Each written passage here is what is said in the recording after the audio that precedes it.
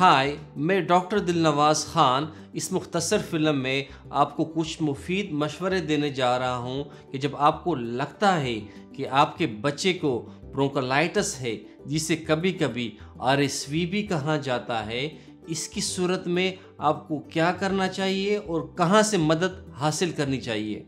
ये video healthier together website की मालूम पे मबनी है, जो कि ब्रोंकोलाइटिस और बचपन की दीगर बीमारियों के बारे में बहुत ज़्यादा मालूम फराहम करती है। ये वाकई एम है कि जब आपको मदद की ज़रूरत हो तो वो हासिल हो जाए, ताकि ये यकीनी बनाया जा सके कि आपके बच्चे को सही देखभाल और इलाज फराहम किया गया है। लिहाजा हम इन अलामत को मुख्तलिफ़ हिस्सों में तकसीम करने जा रहे हैं, जो कि सुर्ख, पीला और सब्ज़ है। पहली किस्म जिसके बारे में मैं बात करने जा रहा हूँ, वो सुर्ख अलामत है। अगर ये अलामत ज़ाहिर हो तो अपने करीबी इमरजेंसी डिपार्टमेंट के ज़रिए या ट्रिपल नाइन पे फ़ोन करके फौरी मदद हासिल करें। अगर आपके बच्चे में दर्जा झेल अलामत में से कोई है, इनकी रंगत पीली है और चूने में गैर मामूली तौर पर ठंडा महसूस करते हैं। इनके होंठ नीले हैं, उन्हें सांस लेने में दुश्वारी होती है या वो हर बार जब वो सांस लेते हैं तो तकलीफ़ महसूस करते हैं और कराहत की आवाज़ आती है।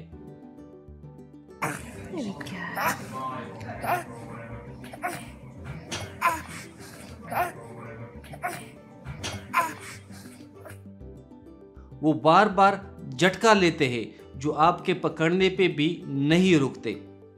वो इतने परेशान है कि आपकी कोई भी चीज़ उनकी मदद नहीं करती। वो उलझन में है या बहुत सोते हैं और उन्हें जगाना मुश्किल होता है। इन पे खारिश के दबे होते हैं जो आपके दबाने से या गिलास टेस्ट इस्तेमाल करने पे भी गायब नहीं होते हैं। इनकी उम्र तीन माह से कम है और इनका दर्जा हरारत अठतीस डिग्री सेंटीग्रेड या सौ इशारिया चार फारनाइट या इससे ज़्यादा है ब्राय करम, याद रखें कि टीका लगवाने के दो दिन तक बच्चों में ज़्यादा दर्जा हरारत आम होता है। अगर वैक्सीनेशन के बाद दर्जा हरारत पैरासीटामोल से कम ना हो तो ट्रिपल वन पे कॉल करें।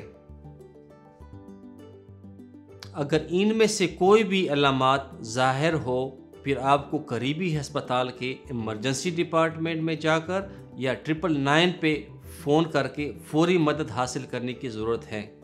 अलामत का अगला मजमु पीली अलामत है। इनके लिए हम मशवरा देते हैं कि जिस दिन वो अलामत ज़ाहिर हो, आप मदद उसी दिन हासिल करें, लेकिन आपको फौरी इमदाद की ज़रूरत नहीं है।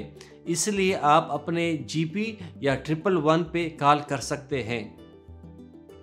अगर आपके बच्चे में दर्जा झेल अलामत में से कोई है, सांस लेने में दुशारी बशमूल हर वक्त तेज़ सांस लेना, सांस लेते वक्त इनके नितने फूल जाते हैं या पसली के नीचे के पट्टू में खिंचाव होता है। बच्चे खाने पीने में कोई दिलचस्पी नहीं रखते। तीन माह से ज़्यादा उम्र की सूरत में 12 घंटे या तीन माह से कम उम्र के होने की सूरत में आठ घंटे तक गिली नेपी नहीं की है। वो गनूदगी में रहते हैं और बहुत सोते हैं या इतने परेशान लगते हैं कि आपके उन्हें खिलौनों, टीवी, काने या गले लगाने से उन्हें सुकून नहीं मिलता।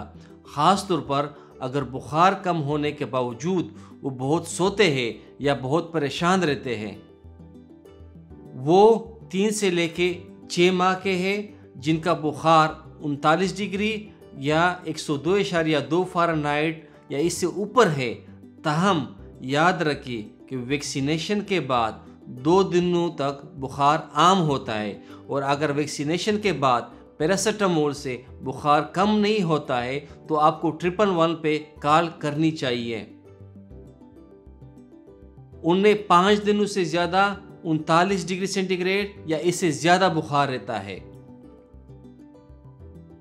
इनकी तबीयत ख़राब हो रही है या अगर आप परेशान हैं, फिर आपको आज ही अपने जीपी से रबता करने और फौरी मुलाकात करने या ट्रिपल वन पे कॉल करने की ज़रूरत है। अगर आपके इंतज़ार के दौरान इनमें से कोई सुर्ख अलामत ज़ाहिर होती है तो आपको ट्रिपल नाइन पे कॉल करने या अपने इमरजेंसी डिपार्टमेंट में जाने की ज़रूरत होगी।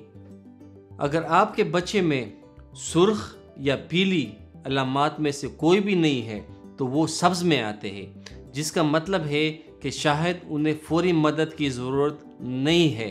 ताहम, अगर आप परेशान हैं तो आप अपने जीपी, फार्मासिस्ट, हेल्थ विजिटर से रबता कर सकते हैं या मशवरे के लिए ट्रिपल वन पे कॉल कर सकते हैं। अगर आपके बच्चे में सुर्ख या पीली की लामात पैदा होती है तो इस वीडियो में पहले पेश करदा मशवरे पे अमल करें। मुझे उम्मीद है कि इस मुख्तसर वीडियो ने आपको ये जानने में मदद की है कि अगर आपके बच्चे को ब्रोंकोलाइटिस है तो आपको किस चीज़ की ज़रूरत है और कहाँ से मदद हासिल करनी है।